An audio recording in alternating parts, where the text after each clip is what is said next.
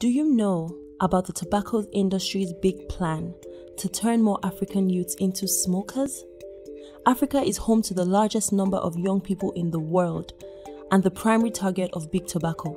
Strict laws are making it harder for big tobacco to thrive in the developed world, which means recruiting millions of poor, uneducated, and young people as smokers is their only chance of survival. Big tobacco is highly deceptive, but their tactics are as simple as ABC.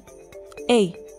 Advertising tobacco through strategic placement of cigarettes, point of sales around schools, in kiosks, and local stores with no warning signs to prevent minors.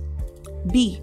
Branding tobacco products with appealing designs or flavors and promoting electronic or other alternative products through celebrity and influencer marketing. C. Creating demand by making tobacco cheaply available by promoting the sales of cigarettes in single sticks, making it easy for vulnerable customers to buy the product.